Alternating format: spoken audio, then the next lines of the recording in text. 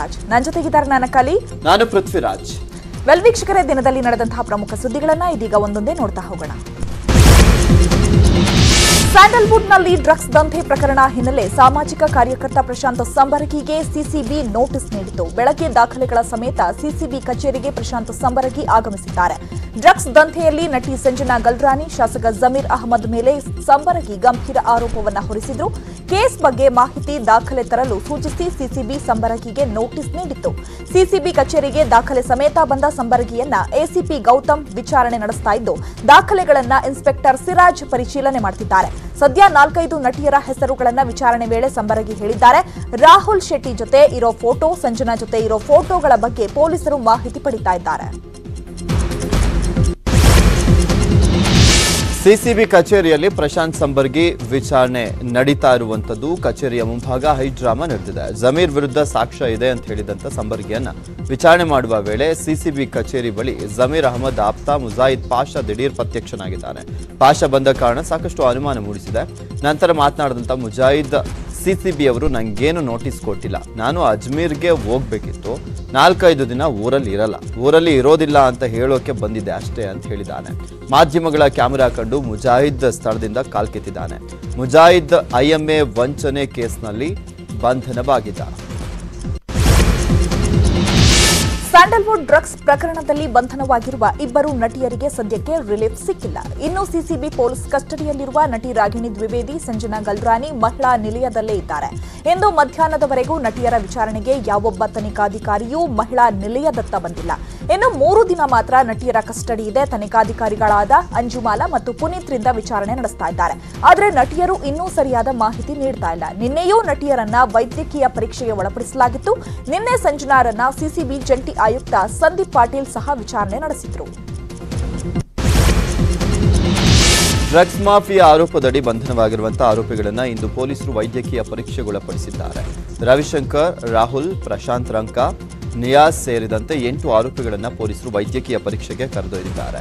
Police ಕಸ್ಟಡಿಯಲ್ಲಿ ಇರುವುದರಿಂದ ಪ್ರತಿನಿತ್ಯ medical ಮಾಡಿಸಬೇಕಾದಂತಹ ಕಾರಣ ಆರೋಪಿಗಳನ್ನು ಕೆಸಿ ಜನರಲ್ ಆಸ್ಪತ್ರೆಯಲ್ಲಿ ವೈದ್ಯಕೀಯ ಪರೀಕ್ಷೆಗೆ ಒಳಪಡಿಸಲಾಗಿದೆ. ಕೇಸ್ನ ಮತ್ತೊಬ್ಬ ಆರೋಪಿ ವೈಭವ್ ಜೈನ್ ಪೊಲೀಸರ ಬಲೆಗೆ ಬಿದ್ದಿದ್ದಾನೆ. ಪ್ರಕರಣದ ಐದನೇ ಆರೋಪಿ ವೈಭವ್ ಜೈನ್ನ ಸಿಸಿಬಿ ಅರೆಸ್ಟ್ ಮಾಡಿದೆ. ನಾಲ್ಕು ದಿನಗಳಿಂದ ತಲೆಮರೆಸಿಕೊಂಡಿದ್ದ ಆರೋಪಿಯನ್ನ ಬಯಲಿ ಕಾವಲ್ ಮನೆಯಲ್ಲಿ ಅರೆಸ್ಟ್ ಮಾಡಲಾಗಿದೆ. ಇಂದು ವೈಭವ್ ಜೈನ್ಗೆ ಸಿಸಿಬಿ ಡ್ರಿಲ್ ಮಾಡಿದೆ. ಹೊರಗಿನ ಪ್ರಪಂಚಕ್ಕೆ ಚಿನ್ನದ ವ್ಯಾಪಾರಿಯಾಗಿರೋ ಈತ ಡ್ರಗ್ಸ್ ದಂಧೆಯಲ್ಲಿ ಭಾಗಿಯಾಗಿದ್ದಾನೆ. ವೈಭವ್ ಡ್ರಗ್ಸ್ ಲಿಂಕ್ ಬಗ್ಗೆ ಮತ್ತೊಬ್ಬ ಆರೋಪಿ ರವಿಶಂಕರ್ ಮಾಹಿತಿ ನೀಡಿದ್ದ. ಎರಡ್ ಸಾವಿರದ ಹದಿನೆಂಟರಲ್ಲಿ ರವಿಶಂಕರ್ ರಾಗಿಣಿಗೆ ಪ್ರತಿಷ್ಠಿತ ಹೋಟೆಲ್ನಲ್ಲಿ ವೈಭವ್ ಪರಿಚಯವಾಗಿತ್ತಂತೆ. ಈ ವೈಭವ್ ಜೈನ್ ಸ್ನೇಹಿತರಾದ ಅರುಣ್, ವಿನಯ್, ರಾಂಕಾ ಮೂಲಕ ಪಾರ್ಟಿಗೆ ಬಂದವರಿಗೆ ಡ್ರಗ್ಸ್ ಸಪ್ಲೈ ಮಾಡುತ್ತಿದ್ದಂತೆ ಶ್ರೀಮಂತರೇ ಇವರ ಗ್ರಾಹಕರು ಎಂದು ತಿಳಿದು ಬಂದಿದೆ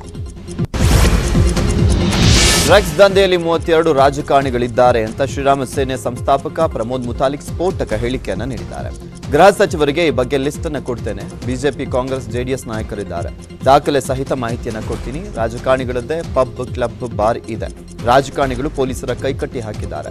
ಡ್ರಗ್ಸ್ ನಿಂದಲೇ ರಾಜಕಾರಣಿಗಳಿಗೆ ಸಾವಿರಾರು ಕೋಟಿ ವ್ಯಾಪಾರವಾಗ್ತಾ ಇದೆ ಅಂತ ಮಂಡ್ಯದಲ್ಲಿ ಮುತಾಲಿಕ್ ಸ್ಫೋಟಕ ಹೇಳಿಕೆಯನ್ನು ನೀಡಿದ್ದಾರೆ. ಈ ರಾಜ್ಯದಲ್ಲಿ ಎಲ್ಲ ಜಿಲ್ಲೆಗಳಲ್ಲೂ ಕೂಡ ಇವತ್ತು ಈ ಡ್ರಗ್ ಮಾಫಿಯಾ ಕೆಲಸ ಮಾಡ್ತಾ ಇದೆ.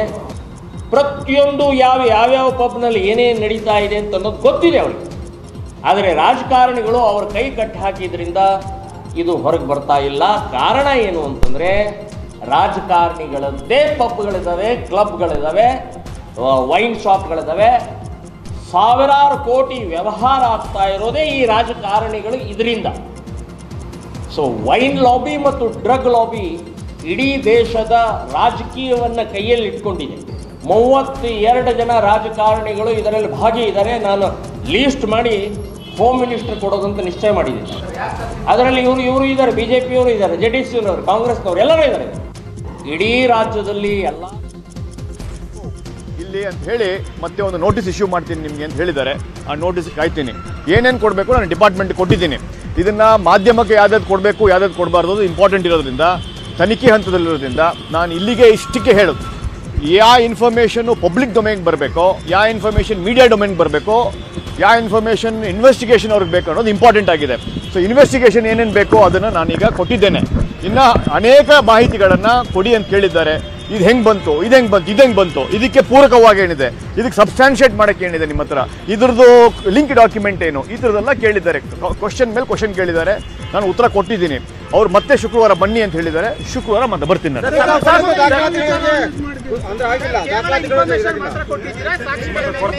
ಕೊರತೆ ಡಾಕ್ಯುಮೆಂಟ್ಸ್ ಕೊರತೆ ಇದೆ. ಅಂದ್ರೆ ಕೊರತೆ ಅಂದ್ರೆ ಇದು ಇದು ಸಿಗ್ತಾ ಇದೆ ಇದು ಡಾಕ್ಯುಮೆಂಟ್ ಇನ್ನೂ ಜಾಸ್ತಿ ಕೊಡಬೇಕು ಅಂತ ಹೇಳಿದ್ದಾರೆ. ಅದನ್ನ ಕೊಡ್ತೀವಿ ಅಂತ ಹೇಳಿದ್ದಾರೆ. ಸರ್ ಒಂದು ಯಾವ ರೂಪದಲ್ಲಿ ಕೊಟ್ಟಿರುತ್ತದೆ ಅಂದ್ರೆ ಫೋಟೋಗಳ ವಿಡಿಯೋಗಳ ಏನು? ಡ್ರಗ್ಸ್ ದಂಧೆ ತನಿಖೆ ವಿಚಾರವಾಗಿ ಮಾತನಾಡಿದ ಸಚಿವ ಸುರೇಶ್ ಕುಮಾರ್ ಪೊಲೀಸ್ ಇಲಾಖೆಗೆ ಮುಕ್ತ ಹಾಗೂ ಸಂಪೂರ್ಣ ಸ್ವಾತಂತ್ರ್ಯ ನೀಡಲಾಗಿದೆ ಎಂದಿದ್ದಾರೆ. ಬೇರು ಮಟ್ಟದಲ್ಲಿ ತನಿಖೆಗೆ ಸೂಚಿಸಲಾಗಿದೆ. ಡ್ರಗ್ಸ್ ವಿಚಾರದಲ್ಲಿ ಯಾರೂ ರಾಜಕೀಯ ಮಾಡಬಾರದು. ಯುವ ಜನಾಂಗವನ್ನ ಹಾಳು ಮಾಡ್ತಾ ಇರುವ ದರಿದ್ರ ದಂಧೆ ಇದು. ಬೇರು ಮಟ್ಟದಲ್ಲಿ ತನಿಖೆಗೆ ಸೂಚಿಸಲಾಗಿದೆ ಎಂದಿದ್ದಾರೆ. ಇದೇ ವೇಳೆ ಸಿದ್ದರಾಮಯ್ಯ ಟ್ವೀಟ್ಗೆ ಪ್ರತಿಕ್ರಿಯಿಸಿದ ಸಚಿವರು, ಸಿದ್ದರಾಮಯ್ಯ ಅವರಿಗೆ ಸಂಪೂರ್ಣ ಭರವಸೆ ಕೊಡ್ತೇನೆ. ಸರ್ಕಾರ ಗಟ್ಟಿ ನಿರ್ಧಾರ ತೆಗೆದುಕೊಂಡಿದೆ. ತನಿಖೆ ಹಾದಿ ತಪ್ಪಲು ಅವಕಾಶ ನೀಡೋದಿಲ್ಲ ಅಂದರು.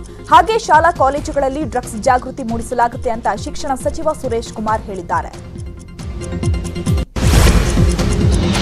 ಚಿಕ್ಕಮಗಳೂರಲ್ಲಿ ಮಾತನಾಡಿರುವಂತಹ ಪ್ರವಾಸೋದ್ಯಮ ಸಚಿವ ಸಿಟಿ ರವಿ ಶಾಸಕ ಜಮೀರ್ ಅಹಮದ್ ಖಾನ್ ಹೇಳಿಕೆಗೆ ವ್ಯಂಗ್ಯವಾಡಿದ್ದಾರೆ. ನನ್ನ ವಿರುದ್ಧ ಆರೋಪ ಸಾಬೀತು ಆದರೆ ನನ್ನ ಸಂಪೂರ್ಣ ಆಸ್ತಿ ಸರ್ಕಾರಕ್ಕೆ ಬರೆದು ಕೊಡುವುದಾಗಿ ಹೇಳಿದಂತ ಜಮೀರ್ ಅಹಮದ್ ಮಾತನ್ನ ನೀವು ಗಂಭೀರವಾಗಿ ತೆಗೆದುಕೊಳ್ತೀರಾ ಅಂತ ಪ್ರಶ್ನೆಯನ್ನ ಮಾಡಿದ್ದಾರೆ. ಅವರ ಮಾತು ಗಂಭೀರವಾಗಿದ್ರೆ ಈಗ ಸಿಎಂ ಮನೆ ಮುಂದೆ ವಾಚ್ಮ್ಯಾನ್ ಕೆಲಸ ಮಾಡಬೇಕಾಗಿತ್ತು. ಅವರ ಹೇಳಿದ್ರೋ ಇಲ್ವೋ ನಿಮಗೆ ಗೊತ್ತಿದೆ. ಯಡಿಯೂರಪ್ಪ ಸಿಎಂ ಆದರೆ ನಾನು ಅವರ ಮನೆ ಮುಂದೆ ವಾಚ್ಮ್ಯಾನ್ ಆಗ್ತೀನಿ ಅಂತ ಹೇಳಿದರು ಅವರು. ವಾಚ್ಮ್ಯಾನ್ ಆಗದೆ ಇರೋರು ಆಸ್ತಿ ಬರೆದು ಕೊಡ್ತಾರ? ಅವರ ಆಸ್ತಿ ಅಕ್ರಮವಾಗಿದ್ರೆ ಸರ್ಕಾರವೇ ಮುಟ್ಟುಗೋಲ ಹಾಕಿಕೊಳ್ಳುತ್ತೆ ಅಂತ ಹೇಳಿದ್ದಾರೆ.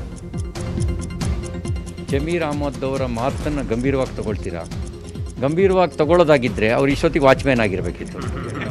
ಅವ್ರು ಹೇಳಿದ್ರೋ ಇಲ್ವಾ? ಯಡಿಯೂರಪ್ಪ ಮುಖ್ಯಮಂತ್ರಿ ಆಗಲ್ಲ.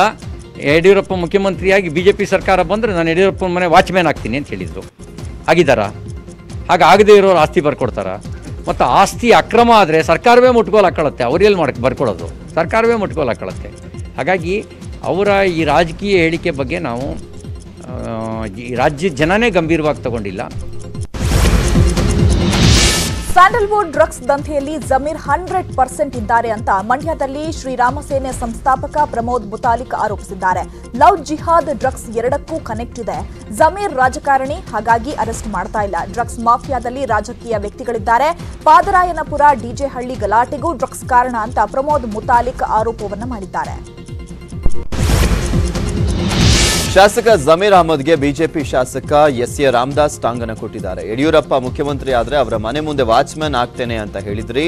ಅದನ್ನೇ ಪಾಲಿಸಿಲ್ಲ. ಇನ್ನು ನೀವು ನಿಜಕ್ಕೂ ಆಸ್ತಿ ಬರೆದು ಕೊಡ್ತೀರಾ ಅಂತ ಕುಟುಕಿದ್ದಾರೆ. ಕಲಬುರಗಿಯಲ್ಲಿ ಕುರಿ ಫಾರ್ಮ್ ಹೌಸ್ನಲ್ಲಿ ಅಪಾರ ಪ್ರಮಾಣದ ಗಾಂಜಾ ಪತ್ತೆ ಪ್ರಕರಣ ಸಂಬಂಧ ಕರ್ತವ್ಯ ಲೋಪ ಆರೋಪದ ಮೇಲೆ ಪೊಲೀಸ್ ಸಿಬ್ಬಂದಿಗಳನ್ನು ಅಮಾನತುಗೊಳಿಸಲಾಗಿದೆ. ಕಾಳಗಿ ಪಿಎಸ್ಐ ಸೇರಿದಂತೆ ನಾಲ್ವರು ಸಿಬ್ಬಂದಿ ಅಮಾನತು ಮಾಡಿ ಆದೇಶವನ್ನು ಹೊರಡಿಸಲಾಗಿದೆ. ಕುರಿ ಫಾರ್ಮ್ ಹೌಸ್ನಲ್ಲಿ ಆರು ಕೋಟಿ ರೂಪಾಯಿ ಮೌಲ್ಯದ ಗಾಂಜಾ ಪತ್ತೆಯಾಗಿತ್ತು.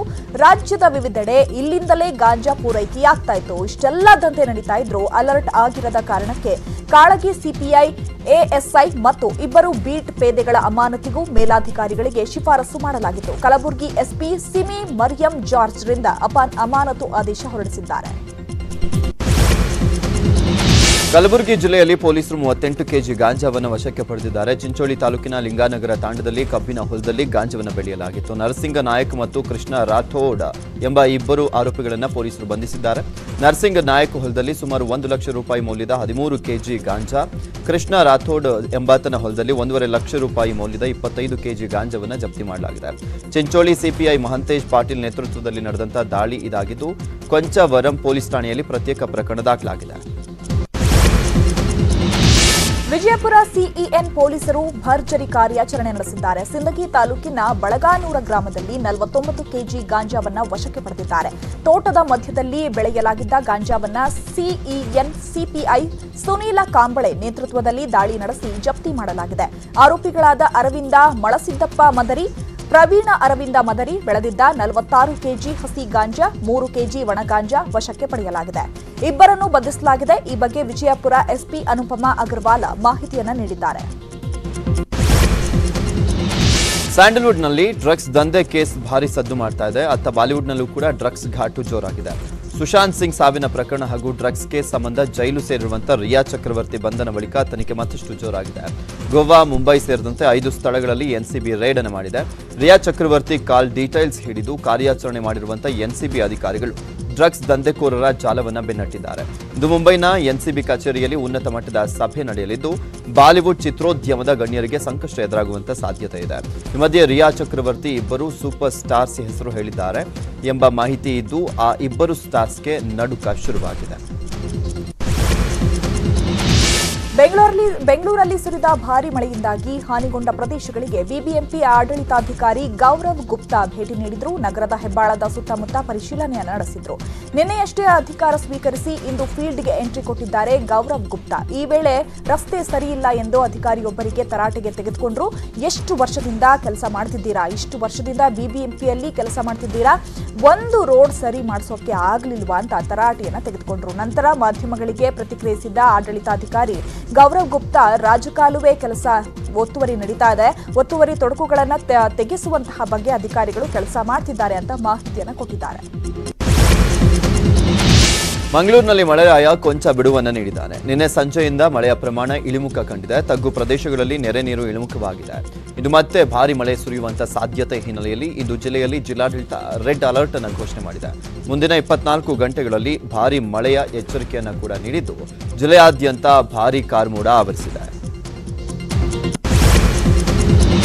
ಗದಗ ಜಿಲ್ಲೆಯಲ್ಲಿ ಅತಿಯಾದ ಮಳೆಯಿಂದ ಈರುಳ್ಳಿ ಬೆಳೆ ನಾಶವಾಗಿದ್ದು ರೈತರು ಕಂಗಾಲಾಗಿದ್ದಾರೆ. ಮುಂಡರಗಿ ತಾಲೂಕಿನ ಮೇವುಂಡಿ, ಡಂಬಳ ಸೇರಿದಂತೆ ಹಲವು ಗ್ರಾಮದಲ್ಲಿ ಈರುಳ್ಳಿ ಮಳೆಯಿಂದ ಕೊಳಿತಾ ಇದೆ. ಸಾಲ ಸೂಲ ಮಾಡಿ ಬೆಳೆದ ಈರುಳ್ಳಿ ಬೆಳೆ ಮಕಾಡೆ ಮಲಗಿದೆ. ಸೂಕ್ತವಾದ ಪರಿಹಾರ ನೀಡುವಂತೆ ರೈತ ವರ್ಗ ಆಗ್ರಹಿಸುತ್ತಾ ಇದ್ದಾರೆ. ಮಂಡ್ಯದ ಆರ್ಕೇಶ್ವರ ದೇವಾಲಯದಲ್ಲಿ ಅರ್ಚಕರ ಹತ್ಯೆ ಪ್ರಕರಣಕ್ಕೆ ಸಂಬಂಧಪಟ್ಟಂತೆ ಇಂದು ದೇವಾಲಯಕ್ಕೆ ಮುಜರಾಯಿ ಸಚಿವ ಕೋಟ ಶ್ರೀನಿವಾಸ್ ಪೂಜಾರಿ, ಜಿಲ್ಲಾ ಉಸ್ತುವಾರಿ ಸಚಿವ ನಾರಾಯಣಗೌಡ, ಕಮಿಷನರ್ ರೋಹಿಣಿ ಸಿಂಧೂರಿ ಭೇಟಿಯನ್ನು ನೀಡಿದ್ರು. ಮೃತ ಕುಟುಂಬಗಳಿಗೆ ತಲಾ ಐದು ಲಕ್ಷ ಪರಿಹಾರದ ಚೆಕ್ ಅನ್ನು ವಿತರಿಸಿ ಸಾಂತ್ವನವನ್ನು ಹೇಳಿದರು. ದೇವಾಲಯದಲ್ಲಿ ಪರಿಶೀಲನೆ ನಡೆಸಿ ಅಧಿಕಾರಿಗಳಿಂದ ಸಚಿವರು ಮಾಹಿತಿಯನ್ನು ಕಲೆ ಹಾಕಿದರು. ದೇವಾಲಯ ಮತ್ತು ಅರ್ಚಕರಿಗೆ ಭದ್ರತೆ ಒದಗಿಸಲಿಕ್ಕೆ ಸಚಿವರು ಮತ್ತು ಜಿಲ್ಲಾಡಳಿತಕ್ಕೆ ಅರ್ಚಕರು ಮನವಿಯನ್ನು ಸಲ್ಲಿಸಿದ್ರು. ಮಂಡ್ಯದಲ್ಲಿ ಅರ್ಚಕರ ಹತ್ಯೆಯನ್ನ ಬಜರಂಗ ದಳ ಮುಖ್ಯಸ್ಥ ಪ್ರಮೋದ್ ಮುತಾಲಿಕ್ ಖಂಡಿಸಿದ್ರು. ಇದರ ಹಿಂದೆ ಇಸ್ಲಾಮಿಕ್ ಜಿಹಾದ್ ಕೆಲಸ ಮಾಡಿರಬಹುದು ಈ ಬಗ್ಗೆ ಸಮಗ್ರ ತನಿಖೆ ಆಗಬೇಕು ಅಂತ ಆಗ್ರಹಿಸಿದ್ರು. ಕೋಲಾರ ಜಿಲ್ಲೆಯಲ್ಲಿ ಕೃಷಿ ಸಚಿವ ಬಿಸಿ ಪಾಟೀಲ್ ರಾಜೀನಾಮೆಗೆ ಆಗ್ರಹಿಸಿ ಪ್ರತಿಭಟನೆ ನಡೀತಾ ಇದೆ. ಕೋಲಾರದ ಗಾಂಧಿ ವೃತ್ತದಲ್ಲಿ ರೈತ ಸಂಘದ ಮುಖಂಡರು ಪ್ರತಿಭಟನೆ ಮಾಡಿದ್ದಾರೆ.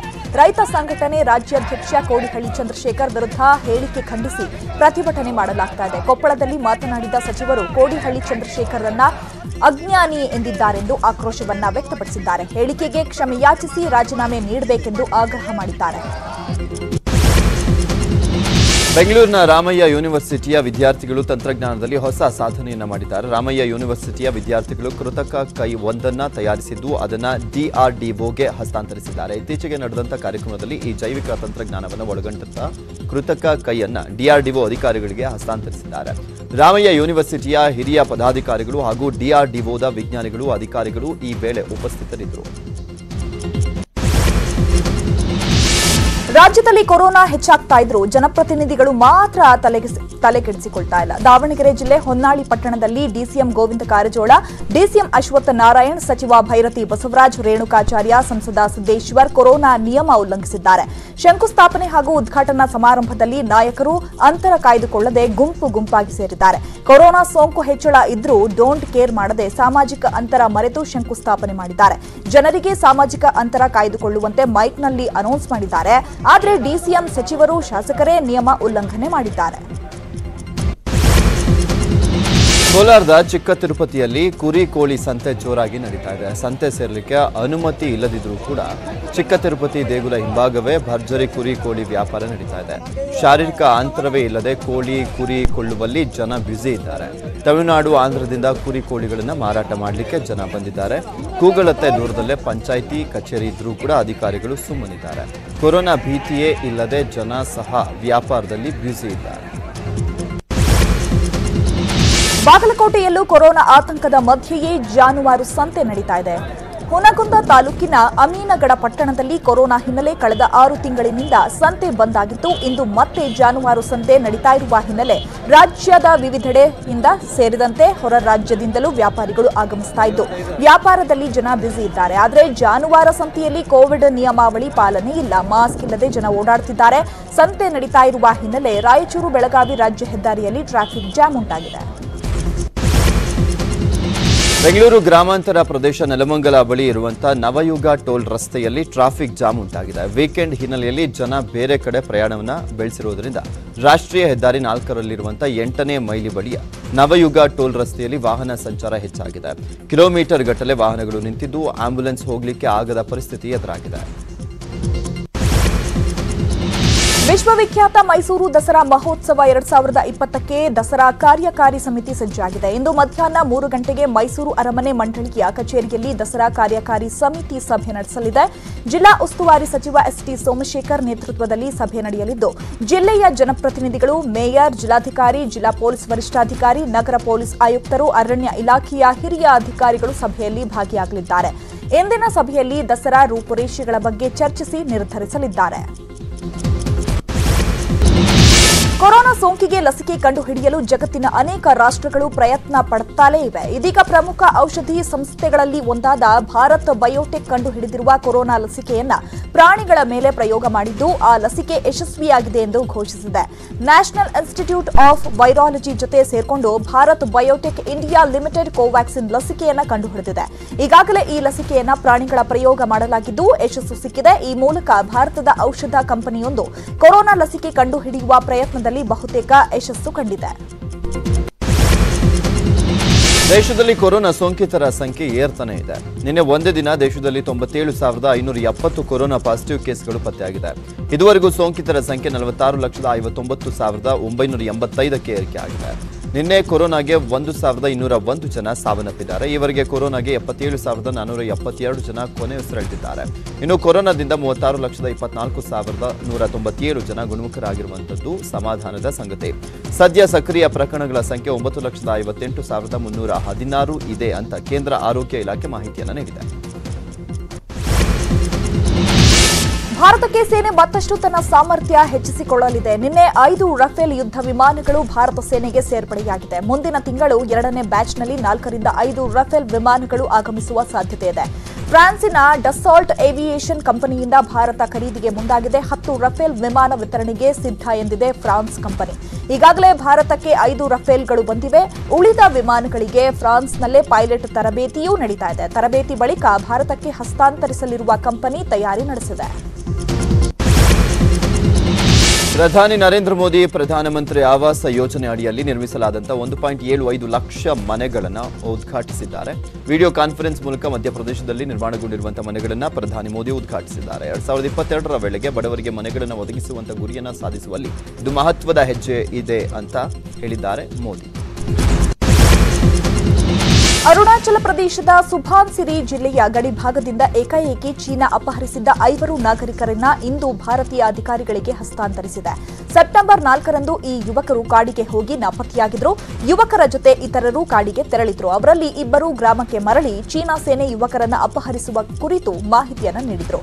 ಯುವಕರು ನಾಪತ್ತೆಯಾದ ವಿಷಯವನ್ನ ಭಾರತೀಯ ಸೇನೆಯ ಹಾಟ್ಲೈನ್ ಮೂಲಕ ಚೀನಾ ಸೇನೆಯ ಗಮನಕ್ಕೆ ತಂದಿತ್ತು. ಐವರು ಭಾರತೀಯ ಯುವಕರು ತಮ್ಮ ವಶದಲ್ಲಿ ಇರುವುದಾಗಿ ಚೀನಾ ದೃಢಪಡಿಸಿತ್ತು. ಭಾರತೀಯ ಸೇನೆಯು ಕಳುಹಿಸಿದ ಹಾಟ್ಲೈನ್ ಸಂದೇಶಕ್ಕೆ ಚೀನಾದ ಪಿಎಲ್ಎ ಪ್ರತಿಕ್ರಿಯಿಸಿದ್ದು, ಅರುಣಾಚಲ ಪ್ರದೇಶದಿಂದ ಕಾಣೆಯಾದ ಯುವಕರನ್ನ ಅವರ ಕಡೆ ಪತ್ತೆ ಮಾಡಲಾಗಿದೆ ಎಂದು ಅವರು ಖಚಿತಪಡಿಸಿದ್ದಾರೆ. ಭಾರತಕ್ಕೆ ಐವರನ್ನ ಹಸ್ತಾಂತರಿಸುವ ಪ್ರಕ್ರಿಯೆ ನಡೀತಾ ಇದೆ ಅಂತ ಕೇಂದ್ರ ಸಚಿವ ಕಿರಣ್ ರಿಜಿಜು ಟ್ವೀಟ್ ಮಾಡಿದರು. ಇವೆಷ್ಟು ಈ ಕ್ಷಣದವರೆಗಿನ ಮೂವತ್ತು ನಿಮಿಷ ಮೂವತ್ತು ಸುದ್ದಿ ನೋಡ್ತಾ ಇರಿ. News eighteen Kannada. ಜಾಲ ನಮ್ಮದು, ಬಲ